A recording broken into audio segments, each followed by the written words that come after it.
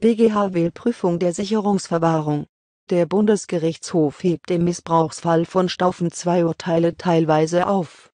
Es geht dabei um die Frage der Sicherungsverwahrung der Verurteilten. Beide Fälle müssten in diesem Punkt neu entschieden werden.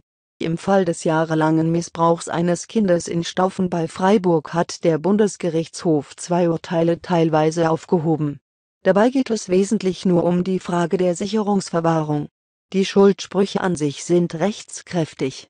Das Gericht habe bei der Beurteilung, ob es sich bei den verurteilten 51 und 34 Jahre alten Männern um Hangtäter handelt, Rechtsfehler begangen, sagte die Vorsitzende Richterin des vierten Strafsenats bei der Urteilsverkündung in Karlsruhe. In beiden Verfahren ist daher nochmals über die Frage der Unterbringung der Angeklagten in der Sicherungsverwahrung zu verhandeln die Schuldsprüche der Urteile waren in beiden Verfahren nicht angefochten und sind daher rechtskräftig, heißt es in einer Pressemitteilung des Gerichtshofes. Der 51-Jährige war unter anderem wegen schweren sexuellen Missbrauchs eines Jungen zu acht Jahren Haft verurteilt worden